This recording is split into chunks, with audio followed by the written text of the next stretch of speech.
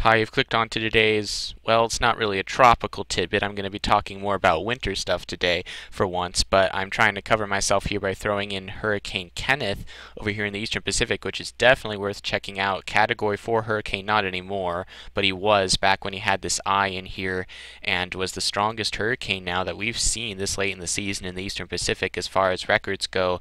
And so this is a very impressive storm, moving into some stable air off to the northwest now, and he'll be weakening and dissipating out here but very impressive storm back here when he had that eye. Very pretty to look at and no threat to any land areas. So very perfect record-breaking storm that we can all love and cherish for a long time.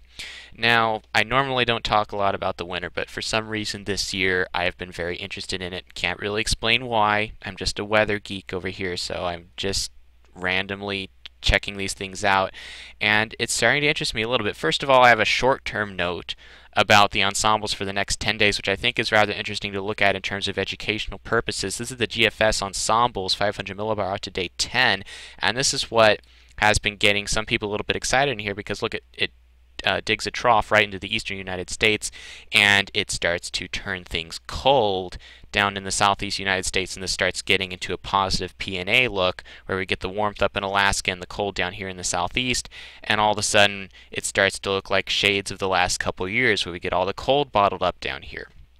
But if we look at the European ensembles for the same time, we still have the trough trying to come in here, but it meets resistance from the Atlantic ridge down here and it quickly lifts out. And look, we have a flatter jet in here, more anticyclonically curved, and we have warmer temperatures over the eastern United States, and it actually has it warm in the east over here, and all the cold is bottled up in the west. And the idea behind this here is we have to pick, as a forecaster, or potential forecasters which ensemble is more likely to be correct. Now the GFS here has a big trough and the axis comes all the way down from basically the North Pole down deep into the southeast United States. And the first thing we should think about when we see this is the fact that it's pretty hard to pull this off. It is not impossible and it has happened before. But when you have air coming down from so far north, what's happening is up here near the pole, the Earth is rotating a lot about its axis. You have a lot of planetary vorticity associated with the airflow. Down near the equator, there is less planetary spin, and you therefore, when the air comes from a pla- uh, comes from high spin to low spin, it has to gain relative spin to the Earth's surface in order to balance that imbalance. And so when it comes down, it wants to buckle into a trough base because the trough base is a cyclonically curved vorticity area, which means that it is balancing itself out by rounding that trough base. So the trough doesn't really like to come this far south. The other thing is that there's no blocking up here near Greenland and the Hudson Bay. Generally, when you want cold to get trapped down here in the eastern United States like we've had the last couple of winters, you want blocking ridging over here so that the air can get trapped beneath. We don't have that. The Arctic Oscillation and North Atlantic Oscillation, better known as the NAO for short, has been positive so far and it has not wanted to leave this configuration. You can see all the all the low pressure up here near the pole. We've got strong jets all over the place running around. It's actually pretty nice to see this because we've been getting so used to all this blocking over the Arctic for the last few winters, and uh, this is different now. And yes, it could flip, and we haven't begun December yet, but usually almost every cold La Nina winter that I've looked at that's cold in the United States has the NAO flip to negative before December, usually October and November, but we've had it positive and the Arctic vortex is still up here. And without this blocking, again, it's hard to get the cold air to really want to come down this far. The other thing is that if cold air is going to come diving all the way to the south, it needs a good reason to come. And a lot of the times, a good reason can be upward motion in the southwest Atlantic or tropical Atlantic in general because of warm water, which allows the cold air to slide south and uh, lowers the heights in here, which allows the trough to come farther south.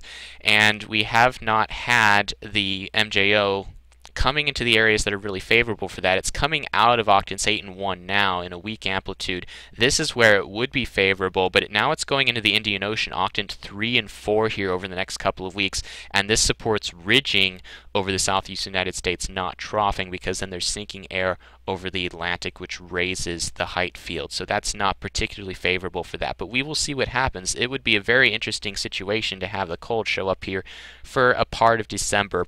Won't probably last the whole winter. And now we're going to talk a little bit about the long-term winter. And the reason this matters is because it affects the hurricane season down the road, and I'll get to that. Now here is the 500 millibar height pattern for a very typical cold PDO winter. This is the average pattern during a negative PDO, which we currently have in the Pacific. And we can see the Arctic vortex is over western Canada. You get the ridge west of Alaska, so it's really, really darn cold up here. And then you get the ridging and warmth over the eastern United States. Now, despite this, a lot of forecasts have had a lot of cold over here for the eastern United States for this upcoming winter.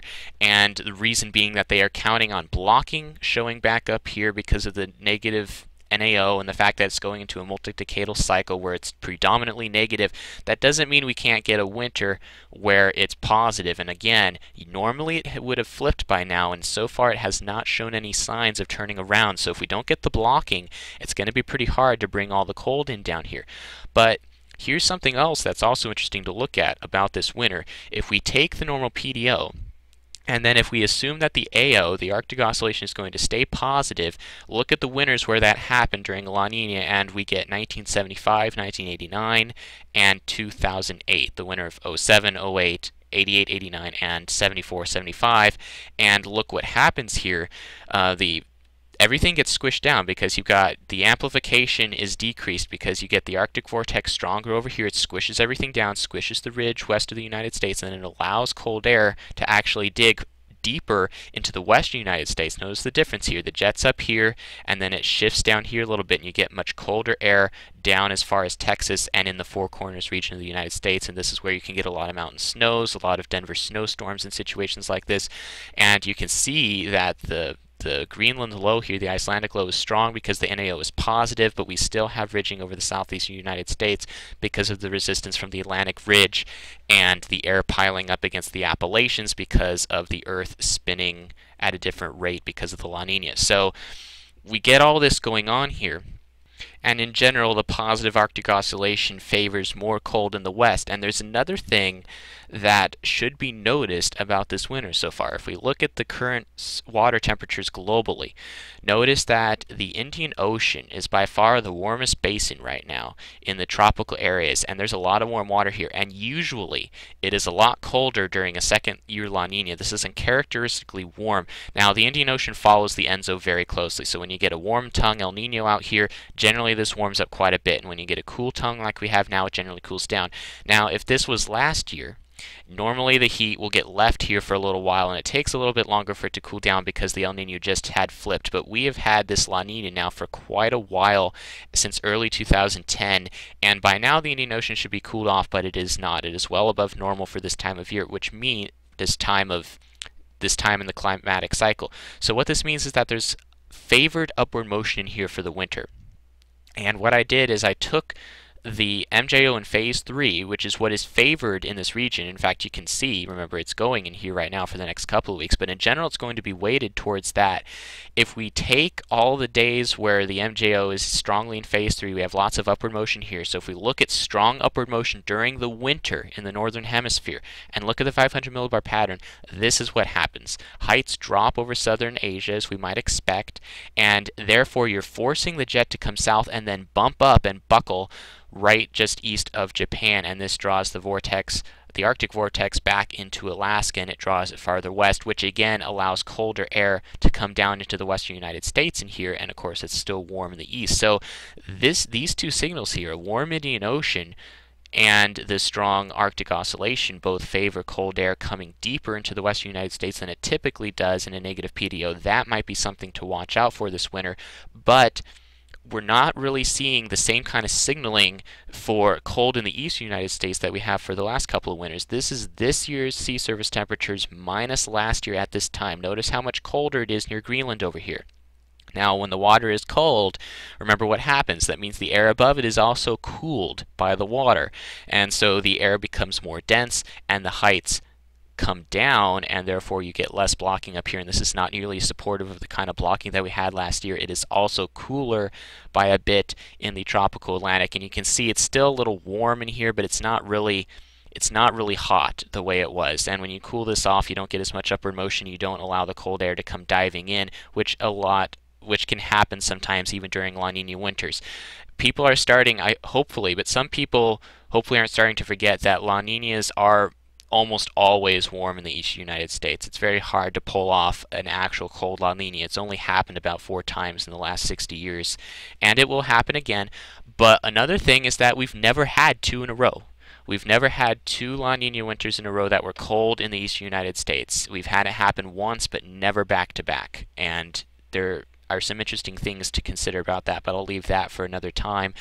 And again, the reason this matters is if we have another cold winter in these United States, then we can get warmer water for the next hurricane season, just like we did last year. Remember, the La Nina was it behaved poorly, let it become cold in here so the water became warm, and we had the ugly hurricane season this year 19 or 20 named storms, which is more than was expected for a second year La Nina. But if we get a warm winter in the in the United States, in the eastern United States, then the NAO is positive up here. We get ridging over the Atlantic, which drives the trade winds stronger across the Atlantic, evaporates the water, and cools it off in the tropics. So we deplete the heat content in here, which means next year could be a weaker hurricane season than both this year and last year, and we could have even fewer storms down there, which is why this whole winter thing matters a lot. So we shall see what happens and enjoy this winter. I will probably talk about this more um, periodically as time goes on, and I'll have more videos detailing some of these things for you. All right, that's it for today. Thanks for watching.